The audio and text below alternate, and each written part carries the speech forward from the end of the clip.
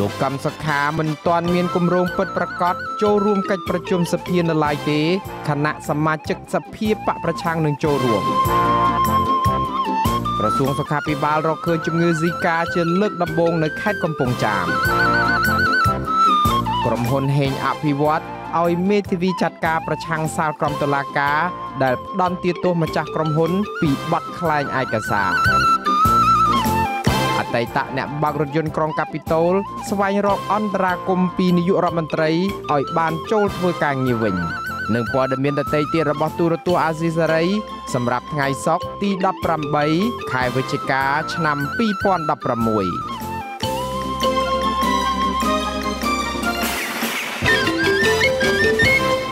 ពីរដ្ឋធានី Washington ខ្ញុំបាទមុនណារ៉េតសូមជម្រាបសួរលោកអ្នកនាងកញ្ញាទាំងអស់ជាទីមេត្រីយើងខ្ញុំសូមស្វាគមន៍លោកអ្នកនាងក្នុងកម្មវិធីផ្សាយរបស់ទូរទស្សន៍អាស៊ីសេរីជាបន្តទៅទៀតនេះខ្ញុំបាទសូមជូនព័ត៌មានពិស្ដា លោកនាងជាទីមេត្រីតំណាងរាជគណៈបកនយោបាយទាំងពីរនៅថ្ងៃសុក្រនេះបានចូលរួមប្រជុំសភាក្នុងក្របខ័ណ្ឌគណៈកម្មាធិការអចិន្ត្រៃយ៍អ្នកវិភាគនយោបាយមើលឃើញថាការវិលត្រឡប់ចូលប្រជុំសភារបស់គណៈបព្វប្រឆាំងបង្ហាញថាអ្នកនយោបាយចេះគិតពីផលប្រយោជន៍ជាតិជាធំហើយនេះក៏ជាវិធីសាស្ត្រដែលអាចធ្វើឲ្យកម្ដៅនយោបាយថមថយដែរលោកមុំមនីរតរាយការណ៍ជំវិញព័ត៌មាននេះមន្ត្រីនាំពាក្យគណៈបព្វប្រឆាំងយល់ឃើញថាមូលហេតុចម្បងដែលជំរុញឲ្យគណៈបកសម្លេងភាគតិចនៅក្នុងរដ្ឋសភា មូលមាត់គ្នាថានឹងចូលអង្គុយប្រជុំក្នុងសភាពេញអង្គព្រោះជាដំណាក់កាលដែលចាំបាច់តាក់ទិននឹងថាវិការជាតិថ្លែងក្រោយកិច្ចប្រជុំគណៈកម្មាធិការចិនត្រៃនៃរដ្ឋសភាកាលពីព្រឹកថ្ងៃទី18វិច្ឆិកាលោកយ៉ែមពញ្ញរិទ្ធបញ្ជាក់ថាសម័យប្រជុំសភាពេញអង្គនៅថ្ងៃទី22វិច្ឆិកាដែលសភាគ្រោងនឹងអនុម័តនឹងផ្ដល់សញ្ញាប័ណ្ណលើរបៀបវិរៈមួយចំនួនក្នុងនោះរបៀបវិរៈដ៏សំខាន់មួយទៀតគឺការអនុម័តច្បាប់គ្រប់គ្រងថាវិការជាតិឆ្នាំ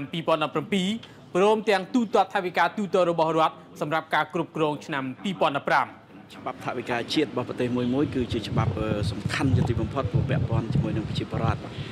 ដូច្នេះគណៈបក្សប្រជាជាតិយល់ឃើញថាជាច្បាប់មួយដ៏សំខាន់ហើយខាងសម្លេងភាគតិចនឹងចូលរួមដើម្បីពិភាក្សាផ្ដល់មតិយោបល់យ៉ាងណាក៏ពេលនោះបាទថាវិការជាតិឆ្នាំ2017ដែលគណៈរដ្ឋមន្ត្រីអនុម័តនៅក្នុងកិច្ចប្រជុំរបស់ខ្លួន នៅថ្ងៃទី21ដុល្លារនិងរដ្ឋាភិបាលគ្រោងនឹងអនុម័តនៅថ្ងៃទី22វិច្ឆិកានោះគឺមានទំហំទឹកប្រាក់ប្រមាណ75000លានដុល្លារអាមេរិកចំនួននេះមានការកើនឡើងបើធៀបទៅនឹងការចំណាយថវិកាជាតិឆ្នាំ2016ដែលមានទៅជិត4000លានដុល្លារអាមេរិកប៉ុណ្ណោះសេចក្តីព្រាងច្បាប់ស្តីពីហិរញ្ញវត្ថុសម្រាប់ការគ្រប់គ្រងថវិកាជាតិឆ្នាំ2017នេះមាន6ចម្ពោះនិង15មាត្រាតេតិនរឿងនេះ លោកលេងពេញឡុងអ្នកនាំពាក្យរបស់រដ្ឋសភាឲ្យដឹងថាសមាជិកសភាដែលមកពីបកនយោបាយទាំងពីរបានព្រមព្រៀងបញ្ចូលរបៀបវិរៈ3បន្ថែមទៀតមានសេចក្តីព្រៀងច្បាប់ស្តីពីការអនុម័តយល់ព្រមលើកិច្ចព្រមព្រៀងទីក្រុងប៉ារីសស្តីពីការប្រែប្រួលអាកាសធាតុជាដើមលោកបន្តថារបៀបវិរៈដែលបានដាក់បញ្ចូលបន្ថែមនេះក៏នឹងស្នើឲ្យរដ្ឋសភាពេញអង្គទាំងមូលផ្ដល់សេចក្ដីបាននឹងអនុម័តលើរបៀបវិរៈដែលមានស្រាប់ផងដែរលោកសនជ័យនាយកប្រតិបត្តិនៃសម្ព័ន្ធគណនេយ្យភាពសង្គមកម្ពុជាយល់ឃើញថា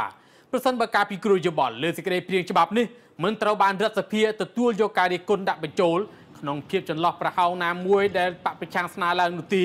នោះបានន័យថាការចូលប្រជុំសភារបស់សមាជិកសភាសម្លេងភាគតិចនេះគ្រាន់តែជាការចូលទៅដើម្បីបង្ក្រប់កិច្ចប៉ុណ្ណោះទាក់ទងការចូលប្រជុំសភាពេញអង្គក្រុមអ្នកវិភាគនយោបាយកំពុងអ៊ុតមើលពីរបៀបវិរៈដ៏សំខាន់មួយទៀត នោះគឺរងចាំមើលថាតើលោកកម្មសខាអាចនឹងមានវត្តមាននៅក្នុងសម័យប្រជុំសភាពេញអង្គជាមួយសមាជិកសភាដទៃទៀតដែរឬយ៉ាងណាបញ្ហានេះមន្ត្រីដែលស្និទ្ធនឹងប្រធានស្ដីទីគណៈបព្វប្រឆាំងលោកមុតចន្ទថាបង្ហោះនៅក្នុងបណ្ដាញសង្គមនៅថ្ងៃទី18វិច្ឆិកាថាលោកកម្មសុខាមិនទាន់ប្រកាសថានឹងត្រូវចូលរួមប្រជុំសភានៅឡើយទេក៏ប៉ុន្តែប្រធានស្ដីទីរូបនេះតែងបង្ហាញឆន្ទៈចនិចក្នុងការចូលរួមប្រជុំក្រៅពីនេះវិញ លោកយឹមសវណ្ណមន្ត្រីជាន់ខ្ពស់គណៈបព្វប្រឆាំងឲ្យដឹងដែរថាសភាពការនយោបាយនៅពេលនេះនៅត្រឹងមិនទាន់មានការប្រែប្រួលអ្វីនោះទេនៅមុនថ្ងៃប្រជុំសភាពេញអង្គត្រូវចាប់ផ្ដើមនេះខ្ញុំមមនីរតអាស៊ីសេរីភ្នំពេញ បាទលោកអ្នកនាងកញ្ញាជាទីមេត្រីលោកអ្នកនាងកំពុងតែតាមដានទស្សនាកម្មវិធីផ្សាយផ្ទាល់របស់ទូរទស្សន៍អាស៊ីសេរីពីរដ្ឋធានី Washington សហរដ្ឋអាមេរិកក្រសួងសុខាភិបាលបានរកឃើញជំងឺ Zika មួយករណីជាលើកដំបូងនៅលើបុរសម្នាក់អាយុ44ឆ្នាំរស់នៅក្នុងស្រុកកំពង់សៀមខេត្តកំពង់ចាមក្រោយពីមានការពិនិត្យនិងវិភាគមេរោគដែលមាននៅក្នុងក្របឈាមរបស់បុរសរូបនោះដោយវិទ្យាស្ថាន Pasteur កម្ពុជាបុរសរូបនោះបានជាសះស្បើយវិញហើយបន្ទាប់ពីចូលសម្រាកនៅមន្ទីរពេទ្យខេត្តកំពង់ចាមកាលពីថ្ងៃទី14ខែតុលាដល់ថ្ងៃទី11ខែវិច្ឆិកាឆ្នាំ2016ក្រសួងសុខាភិបាលឲ្យដឹងថាករណីនេះជាករណីលើកទី1ហើយនៅក្នុងឆ្នាំ2016ដែលមានហើយក៏ជាលើកទី8ដែលមានមេរោគនេះនៅក្នុងកម្ពុជាចាប់តាំងពីឆ្នាំ2007អ្នកជំងឺឆ្លងមេរោគស៊ីកានេះសុទ្ធតែត្រូវបានព្យាបាលជាសះស្បើយក្រសួងសុខាភិបាលជំរុញឲ្យពលរដ្ឋខ្មែរចូលរួមការពារដោយប្រុងប្រយ័ត្នពីព្រោះមេរោគស៊ីកានេះអាចឆ្លងមកមនុស្សតាមរយៈមូសខ្លា ដែលមានផ្ទុកមេរោគស៊ីកាហើយក៏អាចឆ្លងតាមរយៈការរួមភេទរវាងដៃគូដែលមានផ្ទុកមេរោគនេះផងដែរចាប់តាំងពីឆ្នាំ2007មកមេរោគស៊ីកាបានឆ្លងរាលដាលដល់ប្រទេសចំនួន73ក្នុងពិភពលោក។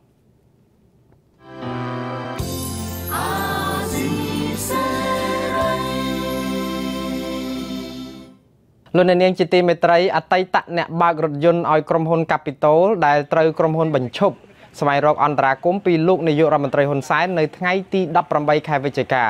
ដោយសារតែការតវ៉ារបស់ពួកគេជាង1ឆ្នាំមកហើយនៅមិនទាន់ដោះស្រាយបាននៅឡើយការដង្ហែគ្នាមកដាក់ញត្តិសុំអន្តរាគមពីលោកហ៊ុនសែនត្រូវបានរំសាយទៅវិញដោយសារចំនួនស្នាមមេដៃរបស់អ្នកតវ៉ាមានត្រឹម32នាក់ក្នុងចំណោមចំនួន45នាក់ អគ្គលេខាធិការសហព័ន្ធសហជីពកម្មករវិស័យដឹកជញ្ជូនកម្ពុជាលោកអៀនកឹមហ៊ុន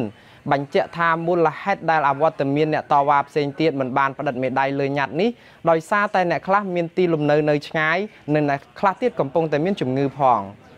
អឺគាត់កាយឡៃគាត់ចង់បានចំនួន45នាក់គឺជាចំនួនស្នាមមេដៃ45នាក់គឺជាចំនួនដែលពិតប្រកបដែលដែលយើងបានប្តឹងទៅសាយបណ្ណាការឬក៏ទៅតុលាការដូចនេះចឹងអញ្ចឹងអញ្ចឹងយើងត្រឡប់ទៅវិញដើម្បីឲ្យគាត់ ផ្តិតមេដាយគ្រប់ចំនួនឬ45នាក់បើមិនបាន45នាក់គាត់យើងមានឲ្យគាត់ទេសិទ្ធផ្តិតមេដាយទេសិទ្ធត្រឹមត្រូវយើងយកឯកសារហ្នឹងមកយោងជាមួយនឹងលេខិតអន្តរាគមពីសម្ដេចនាយករដ្ឋមន្ត្រីហើយយកមកដាក់ឲ្យគាត់គាត់នឹងទទួលលោកអៀនកំហ៊ុនបញ្ជាក់ថាក្រុមអ្នកតវ៉ាស្នើឲ្យលោកនាយករដ្ឋមន្ត្រីហ៊ុនសែនជួយអន្តរាគមទៅក្រុមហ៊ុន Capital ឲ្យពួកគេទាំង45នាក់បានចូលធ្វើការវិញ និងតម្រូវឲ្យក្រុមហ៊ុនទូទាត់ប្រាក់រំលឹកដោយបញ្ឈប់ការរើសអើងសហជីព លោកថាញត្តិនេះអាចនឹងរៀបចំរួចរាល់នៅដើមសប្តាហ៍ក្រោយហើយក្រុមលោកនឹងយកមកដាក់នៅខុទ្ទកាល័យលោកនាយករដ្ឋមន្ត្រីជាថ្មីទៀតបាទគណៈកម្មាធិការជាតិរៀបចំការបោះឆ្នោតឬហៅកាត់ថាកោជបបានប្រកាសថាចាប់ពីថ្ងៃទី1ខែកញ្ញាដល់ថ្ងៃទី17ខែវិច្ឆិកាគិតត្រឹមម៉ោង6ល្ងាចមានប្រជាពលរដ្ឋខ្មែរចំនួន7លាន273,3700 48នាក់បានទៅចុះឈ្មោះបោះឆ្នោតក្នុងចំណោមប្រជាពលរដ្ឋដែលមានអាយុ18ឆ្នាំឡើងទៅហើយមានសិទ្ធិចុះឈ្មោះបោះឆ្នោតសរុបចំនួនជាង9លាន6សែននាក់ដំណើរការចុះឈ្មោះបោះឆ្នោតដើម្បីរៀបចំបញ្ជីបោះឆ្នោតថ្មីឆ្នាំ2016គឺចាប់ផ្ដើមពីថ្ងៃទី1ខែកញ្ញាដល់ថ្ងៃទី29ខែវិច្ឆិកាឆ្នាំ2016អ្នកនាំពាក្យកោចបលោកហងពុធាមានប្រសាសន៍ប្រាប់អាស៊ីសេរីថា ការចុះឈ្មោះបោះឆ្នោតតាមប្រព័ន្ធអេឡិចត្រូនិកនេះមានភាពសុក្រិតជាងការចុះឈ្មោះពីមុនពីមុនមកឧទាហរណ៍ដូចជាឈ្មោះស្ទួនគឺមិនមានការឡើងទៀតទេ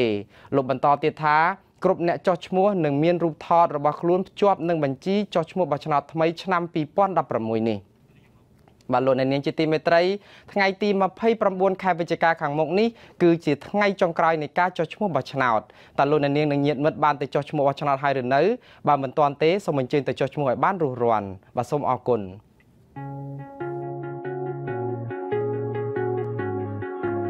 ប្រជាពលរដ្ឋខ្មែរទាំងពីរភេទដែលមានអាយុចាប់ពី15ឆ្នាំឡើងទៅ ហើយមិនទាន់មានអត្តសញ្ញាណប័ណ្ណសញ្ជាតិខ្មែរគំរូថ្មី សូមទៅបំពេញបែបបទសុំធ្វើអត្តសញ្ញាណប័ណ្ណសញ្ជាតិខ្មែរនៅតាមស្ថានីយ៍ចល័តនៃភូមិឃុំសង្កាត់ដែលខ្លួនកំពុងរស់នៅឬនៅប៉ុស្តិ៍នគរបាលរដ្ឋបាលឃុំសង្កាត់និងឬនៅអធិការដ្ឋាននគរបាលក្រុងស្រុកខណ្ឌ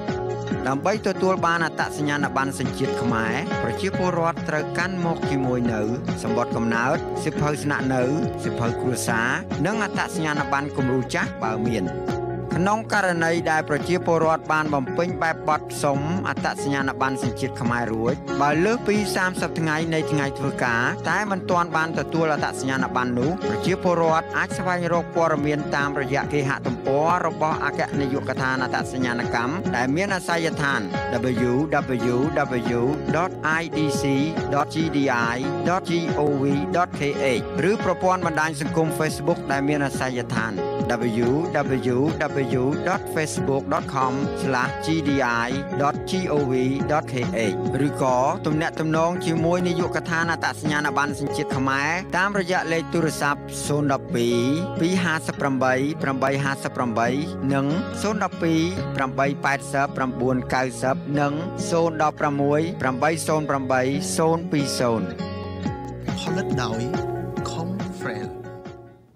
បាទសាធារណជនរិះគន់អាជ្ញាធររាជធានីភ្នំពេញថាខ្វះសមត្ថភាពគ្រប់គ្រងនិងទុកដាក់សម្រាមឲ្យមានប្រសិទ្ធភាពនៅក្នុងព្រះរាជពិធីបុណ្យអុំទូករយៈពេល3ថ្ងៃនៅឆ្នាំនេះប៉ុន្តែសាលារាជធានីភ្នំពេញវិញអះអាងផ្ទុយថាឆ្នាំនេះអាជ្ញាធរគ្រប់គ្រងសម្រាមបានល្អជាងឆ្នាំមុនសូមទស្សនាសេចក្តីរាយការណ៍របស់អ្នកស្រីអ៊ុំរៀងសី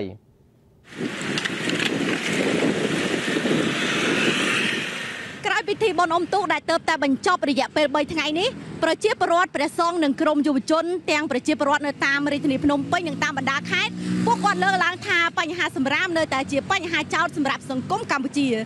ពលរដ្ឋរស់នៅរាជធានីភ្នំពេញម្នាក់សម្ដែងការសោកស្ដាយអំពីការកើនឡើងបរិមាណសម្រាមពីមួយឆ្នាំទៅមួយឆ្នាំលោកថានៅពេលដែលអាជ្ញាធរគ្រប់គ្រងសម្រាមមិនមានប្រសិទ្ធភាព គណៈពលរដ្ឋដែលចូលរួមពិធីបុណ្យអុំទូកដែលមិនមានការយល់ដឹងពីគ្រោះថ្នាក់នៃសម្រាមបញ្ហានេះមិនត្រឹមតែប៉ះពាល់ចំពោះសុខភាពមនុស្សសត្វនិងបរិស្ថានប៉ុណ្ណោះទេប៉ុន្តែវាក៏ឆ្លុះបញ្ចាំងពីភាពកំសោយនៃការគ្រប់គ្រងប្រទេសផងដែរនឹងបើយើងចង់ឲ្យសង្គមយើងល្អតោះតែយើងចេះសាមគ្គីពីយើងទៅផ្ដើមពីយើងទៅទាំងអស់គ្នា តែបើសិនជាយើងមិនចេះរៀបចំមិនចេះបោះសម្អាតគឺវាមើលទៅញញ៉ៃគឺដូចសង្គមយើងរាល់ថ្ងៃគឺវា ដូចសម្រាមចឹងបើយើងចេះទុកដាក់គឺវាធំក្លិនជះមិនល្អអញ្ចឹងបញ្ហាសម្រាមក្រោយពិធីបុណ្យអុំទូកត្រូវបានបណ្ដាញសារព័ត៌មាននិងអ្នកប្រើប្រាស់បណ្ដាញសង្គម Facebook ចុះផ្សាយថែមទាំងបង្ហាញរូបគំនរសម្រាមដែលរាយប៉ាយគ្មានសណ្ដាប់ធ្នាប់នៅតាមទីសាធារណៈអ្វីដែលប៉ះពាល់បរិស្ថានខ្លាំងក្លានោះគឺអ្នកបោសសម្រាមបានបោសសម្រាមដែលភាគច្រើនជាជាតិផ្លាស្ទិកចូលទៅក្នុងទឹកទន្លេ ដោយមើលឃើញពីបញ្ហានេះជានិស្សិតមកពីសាកលវិទ្យាល័យជាតិគ្រប់គ្រងកញ្ញាអែមស៊ីហ្គេងលើកឡើងថា ការគិតគូរពីបញ្ហាបរិស្ថាន គឺជារឿងសំខាន់ព្រោះបរិស្ថាន គឺជាអាយុជីវិតរបស់យើងកញ្ញាស្នើឲ្យអាជ្ញាធរបង្កើនការផ្សព្វផ្សាយដល់ពលរដ្ឋដើម្បីបញ្ឈប់ការបោះចោលសម្រាមផ្ដេសផ្ដាសខ្ញុំចង់ប្រៀបធៀបដល់គាត់ថាឲ្យរួមថែរក្សាបរិស្ថានទាំងអស់គ្នាជួយ ថែរក្សាព្រោះយើងថាបរិស្ថានល្អសុខភាពយើងក៏ល្អអញ្ចឹងយើងចង់ចូលរួមថែរក្សាទោះបីយើងមិនបានទោះបីយើងថាយើងមិនបានជួយរើសតែយើងសុំជួយមេត្តាកុំបោះចោលសម្រាប់ហើយយើងឃើញអីយើងអាចជួយរើសទាំងអស់គ្នាអាហ្នឹងគឺជាសុខភាពដល់ពួកយើងទាំងអស់គ្នាឯងចាហើយក៏លំអដល់ប្រទេសជាតិរបស់យើង ចំណែកឯប្រដាច់គុណហេងរ៉ាន់មានថេរដីកាថាទោះជាការចោលសម្រាមហាក់ដូចជារឿងតូចតាចប៉ុន្តែទម្លាប់នេះកំពុងឆ្លុះបញ្ចាំងពីចំណេះដឹងអត្តចរិតនិងការទទួលខុសត្រូវរបស់ពលរដ្ឋខ្មែរម្នាក់ម្នាក់និងអាជ្ញាធរប្រដាច់គុណបន្តថាការបន្តទម្លាប់អាក្រក់នេះនឹងជាអតិពលដល់មុខមាត់និងសេចក្តីថ្លៃថ្នូរប្រទេសនឹងអាចឲ្យបរទេសមើងងាយបានប្រដាច់គុណយល់ថាដើម្បីដោះស្រាយបញ្ហាសម្រាមឲ្យមានប្រសិទ្ធភាព គឺត្រូវចាប់ផ្ដើមពីបុគ្គលម្នាក់ម្នាក់ជាមុនសិនជាការសំណុំពររបស់អាត្មាសូមឲ្យស្ថាប័នពាក់ព័ន្ធដូចជាអាជ្ញាធរជាដើមឬក៏អ្នករៀបចំកម្មវិធីបន់ផ្សេងផ្សេងទី1ជួយសម្រួលតាក់ទងទៅនឹងធុងសម្រាមនោះឲ្យបានគ្រប់គ្រាន់ព្រោះថាកំណើនមនុស្សវាកាន់តែច្រើនទៅហើយការប្រើប្រាស់ការចែកចាយតាក់ទងទៅនឹងសម្រាមក៏ច្រើនដែរអញ្ចឹងហើយយើងត្រូវរៀបចំយ៉ាងម៉េចឲ្យមានគ្រប់គ្រាន់ទី2សូមឲ្យប្រជាពលរដ្ឋមានកាតព្វកិច្ចទទួលខុសត្រូវខ្លួនឯងថា បកឋានស្អាតផ្ដើមចេញពីអ្នកមានន័យថាផ្ដើមចេញពីយើងគាត់នឹងទៅអញ្ចឹងបើមិនអញ្ចឹងទេធ្វើឲ្យប្រទេសយើងនឹងពិបាកក្នុងការស្រោចស្រង់ឲ្យមានសុខភាពឡើងវិញណាបងឆ្លើយតបទៅនឹងការរិះគន់នេះអ្នកនាំពាក្យសាលារដ្ឋាភិបាលភ្នំពេញលោកមានច័ន្ទយដាមានប្រសាសន៍ថាការគ្រប់គ្រងនិងទុកដាក់សម្រាមរបស់អាជ្ញាធរឆ្នាំនេះមានភាពប្រសើរជាងឆ្នាំមុនមុនព្រោះសាលារដ្ឋាភិបាលភ្នំពេញក្រុមហ៊ុនស៊ីនទ្រី និងមន្ទីរសាធារណការបានសហការដាក់វេនគ្នានិងត្រៀមភ្នាក់ងារប្រមូលសម្រាមជិត2000នាក់ព្រមទាំងធុងសម្រាមជាង1000ធុងលោកបញ្ជាក់ថាពិធីបុណ្យអុំទូករយៈពេល3ថ្ងៃនេះសម្រាមដែលប្រមូលបានជិត6000តោនលោកអះអាងថារឿងបរិមាណសម្រាមកើនឡើងគឺជាសម្រាមដែលកើតចេញពីអ្នកលក់ដូរនិងកំណើនពលរដ្ឋមកដើរកំសាន្តពេលបុណ្យអុំទូកប៉ុណ្ណោះមិនមែនជាសម្រាមចេញពីផ្ទះនោះទេ ប្រជាពលរដ្ឋនៅតែទទូចឲ្យរាជរដ្ឋាភិបាលគិតគូរដោះស្រាយពីបញ្ហាសម្រាមជាចម្បង ដើម្បីតាក់ទាញភ្ញៀវទេសចរចូលមកកាន់កម្ពុជាកាន់តែច្រើនខ្ញុំអ៊ុំរាំងសីអាស៊ីសេរីរាយការណ៍ពីមុខវត្តបទុមតីបាទលោកអ្នកនាងជាទីមេត្រីតកតងនឹងការរិះគន់ខ្លាំងៗពីបញ្ហាសម្រាមនេះ សាលារដ្ឋាភិបាលភ្នំពេញបានចាត់វិធានការប្រមូលសម្រាមបណ្ដាបណ្ដាទាំងនៅលើបរិវេណលើគោកនិងក្នុងទឹកតាមដងទន្លេមុខព្រះបរមរាជវាំងកាលពីថ្ងៃទី17ខែវិច្ឆិកាក្រោយព្រះរាជពិធីបុណ្យអុំទូក3ថ្ងៃបានបិទបញ្ចប់ជាស្ថាពររដ្ឋមន្ត្រីក្រសួងបរិស្ថានលោកសាយសំអាល់លោកទទួលស្គាល់ពីការខិតខំប្រឹងប្រែងទាំងរដ្ឋបាលសាលារដ្ឋាភិបាលភ្នំពេញនិងក្រុមហ៊ុនប្រមូលសម្រាមលើការប្រមូលនិងទុកដាក់សម្រាមលោកបន្ថែមថាប្រការដែលបានបោះសម្រាមចូលក្នុងទន្លេគឺជាបញ្ហាបុគ្គលមួយចំនួនតែប៉ុណ្ណោះហើយប្រជាពលរដ្ឋផ្ទាល់គួរតែទទួលខុសត្រូវប្រមូលសម្រាមរបស់ខ្លួនឯងដាក់ទុកក្នុងធុងសម្រាមឲ្យបានត្រឹមត្រូវលោកទឹកវណ្ណារានាយកប្រតិបត្តិនៃអង្គការមិនមែនរដ្ឋាភិបាលស្ដីពីកម្ពុជាឬហៅកាត់ថា NGO Forum បញ្ជាក់ថារដ្ឋាភិបាលគួរតែមានដំណោះស្រាយទៅថ្ងៃអនាគតនៅក្នុងកិច្ចការពីបរិស្ថានដូចជាចាត់ឲ្យមានធុងសម្រាមគ្រប់គ្រាន់មានផ្ទាំងបដាសម្រាប់អប់រំផ្សព្វផ្សាយពីការដាក់សម្រាមក្នុងធុងពិសេសរដ្ឋាភិបាលគួរតែបង្កើនការអប់រំចាប់តាំងតែពីថ្នាក់បឋមសិក្សារហូតដល់អនុវិទ្យាល័យឲ្យយល់ដឹងពីការទុកដាក់សម្រាមទាំងកាកសំណល់រឹងនិងរាវជាដើម។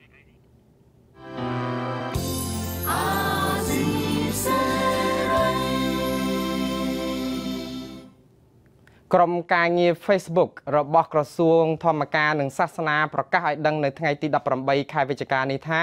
ពួកគេមិនមានលុយបង់ថ្លៃអ៊ីនធឺណិតដើម្បីតាមដានទំព័រ Facebook របស់លោកនាយករដ្ឋមន្ត្រីហ៊ុនសែនតាមការបញ្ជារបស់លោកនាយករដ្ឋមន្ត្រីនាពេលកន្លងទៅនោះទេ ប្រធានក្រុមការងារយុវជន Facebook ក្រសួងលោកមាសសំណាង បញ្ជាក់ថាទំព័រ Facebook ឬ page របស់ក្រសួងអាចនឹងត្រូវបិទមួយរយៈឬក៏ត្រូវបិទការផ្សាយទាំងស្រុង ព្រោះកន្លងទៅអតីតនាយករដ្ឋមន្ត្រីក្រសួងធម្មការលោកមិនខិនបានជួយឧបត្ថម្ភ ថ្លៃអ៊ីនធឺណិតនេះចំនួន50ម៉ឺនរៀលប៉ុន្តែចាប់តាំងតែពីខែមករារហូតដល់ថ្ងៃទី18ខែវិច្ឆិកាក្រុមការងារនេះពុំដែលទទួលបានអ្វីទាំងអស់សូម្បីតែលុយសម្រាប់បង់សេវាអ៊ីនធឺណិតក៏ពួកគេប្រើប្រាស់ថវិកាផ្ទាល់ខ្លួនដែរអ្នកនាំពាក្យក្រសួងធម្មការនិងសាសនាលោកសេងសុមនីបញ្ជាក់ថា ក្រសួងពុំមានកញ្ចប់ថវិកាដាច់ដោយឡែកសម្រាប់ក្រុមការងារ Facebook នោះទេ វាអាស្រ័យទៅលើការបរិច្ចាគឬឧបត្ថម្ភរបស់រដ្ឋមន្ត្រីលោកបន្តថារដ្ឋមន្ត្រីថ្មីលោកហឹមឆែមគ្រោងបង្កើតក្រុមការងារថ្មីដើម្បីគ្រប់គ្រងទំព័រ Facebook របស់ក្រសួង។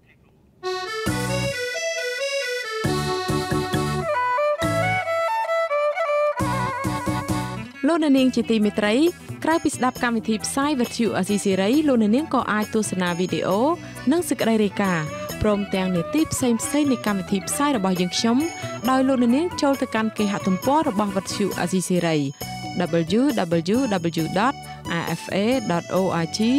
ខ្មែរនិង YouTube www.youtube.com/rfa ខ្មែរ video ឬតាមបណ្ដាញសង្គម Facebook ដែលមានអាសយដ្ឋាន www.facebook.com/rfa cambodia ចាសសូមអរគុណ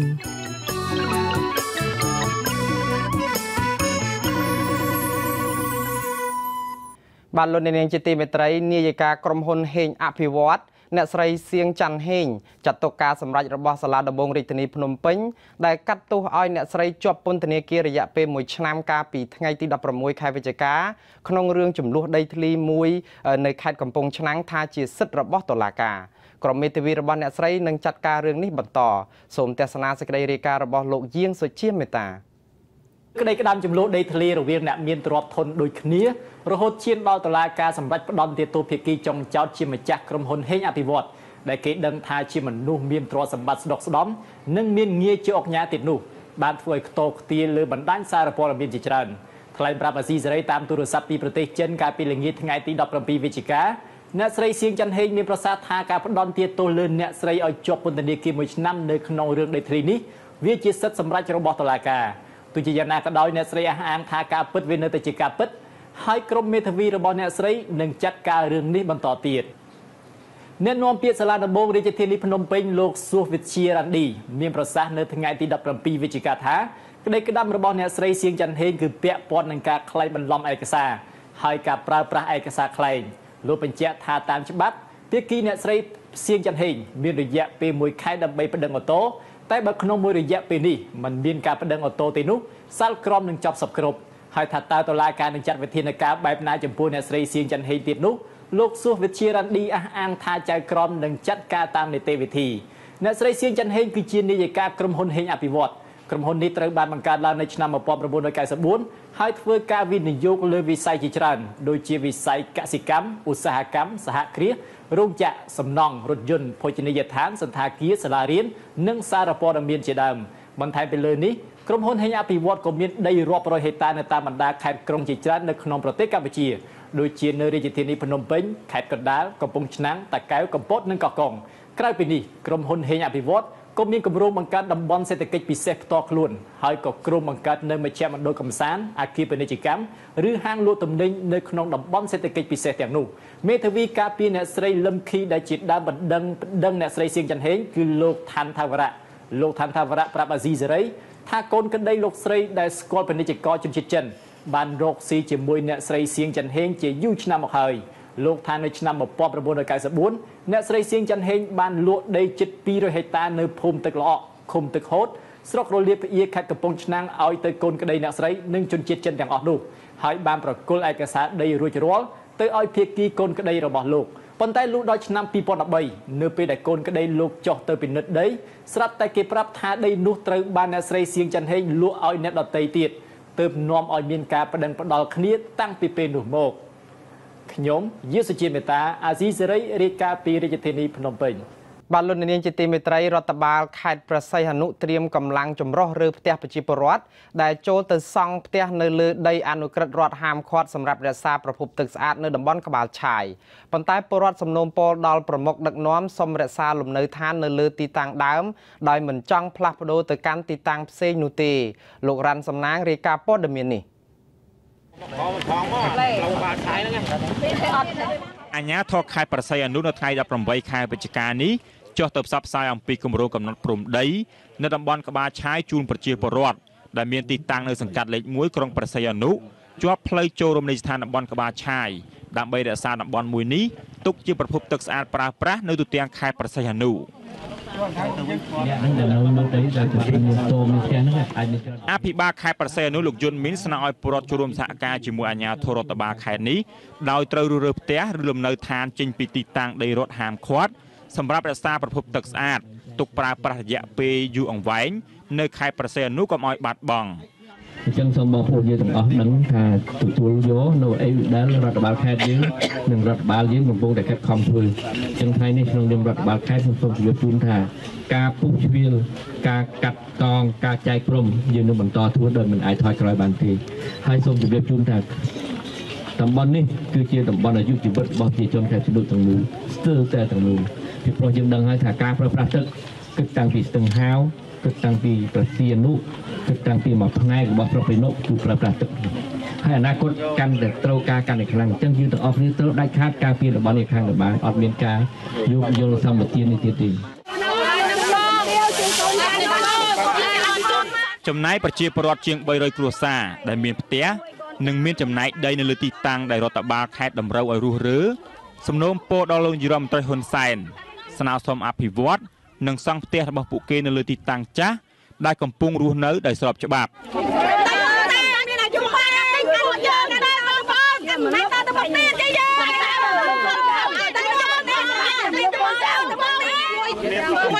ពលរដ្ឋយល់ថាសកម្មភាពរបស់អាជ្ញាធរនៅពេលនេះធ្លាប់កើតឡើងជាបន្តបន្ទាប់នៅតាមមូលដ្ឋានកន្លងមកខ្ញុំប្រជាជនរស់នៅតំបន់បាឆាយនេះប៉ុណ្ណាមានទេសំដានសំដានជួយកូនចៅជួយតែនៅទេដាច់កូនចៅនឹងដាច់កូនរីក្នុងតែណាសូមឲ្យជួយកូនចៅជួយកូនចៅអស់មាននៅទេមកមកកូនចៅឲ្យកូនចៅថានៅឯណាសូមឲ្យនៅឯហ្នឹងសូមមកជួយសូមដាច់ជួយដា ច់ទោះជាយ៉ាងណាលោកយុនមានបញ្ជាក់ថារដ្ឋបាលខេត្តប្រស័យអនុនឹងអនុវត្តគម្រោងនេះឲ្យមានប្រសិទ្ធភាពលោកស្នើឲ្យពលរដ្ឋចូលរួមសហការជាមួយអាជ្ញាធរហើយព្រមទទួលយកចំណែកដី ដែលអាជ្ញាធរផ្ដល់ជូននៅទីតាំងផ្សេងចំនួនទីតាំងចាស់ព្រោះទីតាំងចាស់រដ្ឋបាលខេត្តនេះត្រូវដកហូតនិងដាំដើមឈើឡើងវិញនាថ្ងៃអនាគតបើពុំដូច្នោះទេអាជ្ញាធរនឹងមានវិធានការតាមផ្លូវច្បាប់ទៅលើអ្នកដែលមិនសហការ តេតងនឹងរឿងដ៏ចម្រូងចម្រាសនេះមន្ត្រីសម្របសម្រួលសមាគមអាត់ហុកប្រចាំខេត្តប្រស័យអនុអ្នកស្រីជាបសុធារីស្នើឲ្យក្រុមការងារចម្រុះរបស់រដ្ឋបាលខេត្តមួយនេះដែលចុះអនុវត្តអនុក្រឹត្យរបស់រដ្ឋាភិបាលធ្វើយ៉ាងណាឈានដល់ការជ្រៀតដីជូនពលរដ្ឋរស់នៅឲ្យស្របតាមច្បាប់ឲ្យមានតម្លាភាពនិងយុត្តិធម៌សម្រាប់ទាំងអស់គ្នាខ្ញុំប្រាន់សំណាងអាស៊ីសេរីភ្នំពេញ បាទលោកអ្នកនាងជាទីមេត្រីសមាគមមូលនិធិខ្មែរជួយខ្មែរ KHK ដែលមានមូលដ្ឋាននៅសហរដ្ឋអាមេរិកកំពុងអនុវត្តគម្រោងរបស់ខ្លួនលើវិស័យអប់រំជួយកុមារនិងយុវជនរស់នៅតំបន់ដាច់ស្រយាលនៅខេត្តស្ទឹងត្រែងឲ្យមានលទ្ធភាពសិក្សាបានគ្រប់គ្រាន់នៅមូលដ្ឋានពួកគេរស់នៅ លោកម៉ែនសុធីរាយការណ៍ព័ត៌មាននេះ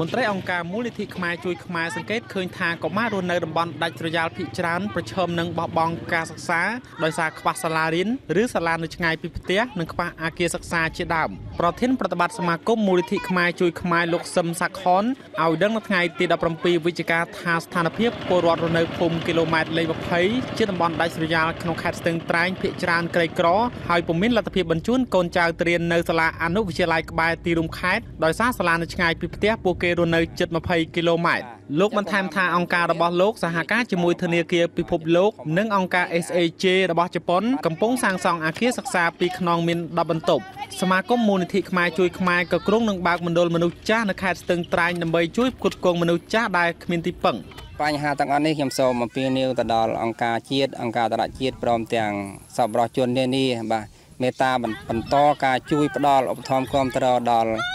តាមរយៈអង្គការ KHK ឬក៏តាមដល់សាលានេះផ្ទាល់មួយទៀតសូមឲ្យរាជរដ្ឋាភិបាលមេត្តាជួយទំនុកបំរុងទៅដល់សាលាឆ្ងាយឆ្ងាយដូចជាសាលាដាច់ស្រយាលនេះផងដែរបាទសូមឲ្យគាត់ជួយមើលនិងជួយជួយដាស់តឿនដល់ក្រមការងាររបស់ក្រសួងឬរបស់មន្ទីរបាទ ដូចគ្នានេះដែរនាយកសាលាអនុវិទ្យាល័យព្រៃចាស់សាមគ្គីក៏សម្គាល់ថាកត្តាជីវភាពរួមផ្សំសាលារៀនឆ្ងាយពីផ្ទះផងនោះសិស្សនៅតំបន់នេះបានបបង់ការសិក្សាជាង200នាក់ហើយសិស្សដែលមករៀនទៀងទាត់179នាក់ក្នុងឆ្នាំសិក្សា2015-2016នេះលោកក៏សម្គាល់ទៀតថាកន្លងទៅសិស្សនៅតំបន់នេះភាគតិចណាស់ដែលមានលទ្ធភាពបន្តសិក្សាថ្នាក់អនុវិទ្យាល័យបានពលពួកគេអាចសិក្សាត្រឹមថ្នាក់បឋមសិក្សាហេតុនេះគម្រោងបង្កើតអនុវិទ្យាល័យនៅតំបន់នេះនឹងការផ្ដល់សម្ភារៈសិក្សាដល់សិស្សរបស់អង្គការសង្គមស៊ីវិលអាចជាផ្នែកមួយជួយទប់ស្កាត់អត្រាបបង់ការសិក្សារបស់សិស្សនិងចូលរួមលើកស្ទួយវិស័យអប់រំជាមួយរដ្ឋាភិបាលការកសាងសាលាមានថាប្រយោជន៍នឹងធ្វើឲ្យកុមារគាត់មានទឹកចិត្តមានកន្លែងរៀនដែលត្រឹមត្រូវបាទมันក្តៅដោយសពថ្ងៃសាលាសាងសីដល់ពេលរយៈខែ4ខែ5គឺក្តៅសិស្សជួនណាសន្លប់ក៏មានដែរអញ្ចឹងណាតែឥឡូវយើងរៀបចំបានសាលាថ្មីហើយខែខែ1ខែ2យើងបានមកសិក្សាហើយយើង មានភាពកក់ក្ដៅ